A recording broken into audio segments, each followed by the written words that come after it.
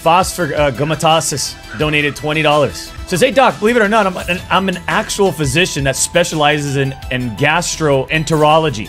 Today I spent roughly an hour removing a tennis racket from a patient's rectum. One doctor to another, make my day a little easier and give these kids a chance. First off, I don't think the guy was playing tennis. Okay? Um,